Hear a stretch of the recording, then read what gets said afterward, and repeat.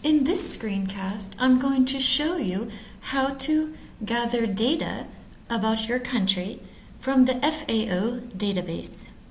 First of all, you click on the link provided in the document. The link takes you directly into the Browse Data feature of the FAO database. So if you look to the left column, we have production, we have imports, and we have exports. There's three ways you can extract the data from the three different categories. We can look by region, by country, or by commodity. We're going to start by looking by country. It should be selected for you. From the pull-down menu, you select your country. From the year menu, you select your year. I recommend 2013. So then I see the five products produced in the country by top quantity.